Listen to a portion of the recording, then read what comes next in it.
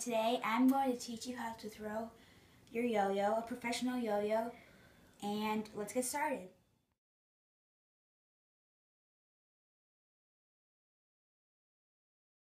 Okay, so the first thing you want to do is that you want to make a muscle like this, and you want to make sure, and you want to thrust your arm like this, and make sure that your finger is rolling off straight, because if it rolls off like this, it's going to fall over like that, and it's going to get all loop-de-loop. -loop it's to get all twisted once you throw it. So make sure you're straight with your arm. You do a nice throw. This is what it looks like.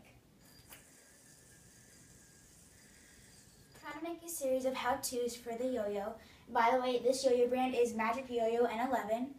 Um, I got this on Amazon.com. It was only like 15 bucks, which is pretty cheap for one of these. Um, the string is uh, polyester. It is uh, metal outside. And so I think I'll just make a few how-tos for this. I'm a beginner yo-yoer still, but I can do a few tricks. So, um, sorry I haven't posted in a while, but I'll try to keep catching up on my posts. So, thanks for watching. Bye! My awesome brother, Sam, for filming. I'll put his YouTube channel, the link down below. And.